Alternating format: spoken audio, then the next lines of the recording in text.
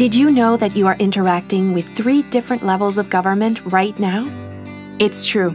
Your cell phone service is regulated by the federal government.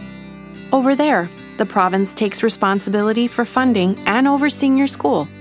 And recycling programs to reduce waste in your community are run by your municipal government. We depend on these services in our homes, in our communities, at our jobs, and for our entertainment. We trust that they'll be there every day to make our lives better. But where do these services come from? Do we have a say in how they are run? Yes, we do. Through elections. We elect people at three different levels of government to represent our voices in how all these services are managed. But what are the three levels of government? There's federal, provincial territorial, and municipal. At each level, the representatives we elect make decisions that impact our lives. But what is each level responsible for? The federal government is responsible for the telecommunications policy that governs internet, cell phones, and TV providers. Think about how important it is for you to connect with family and friends, stream videos, download music, and shop online. And when those online purchases arrive in the mail, you guessed it, Canada Post is a federal institution.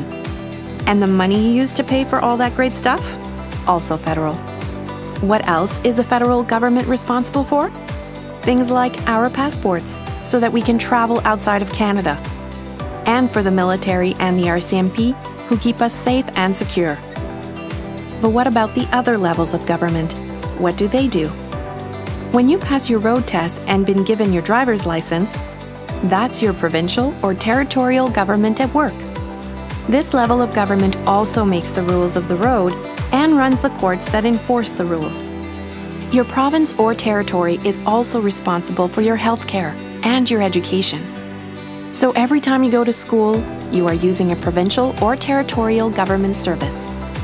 What about the municipal level?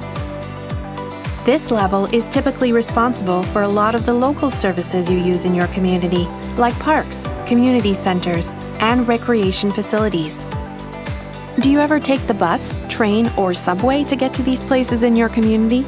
Local and municipal governments are usually responsible for public transit, and in most places, for our drinking water too.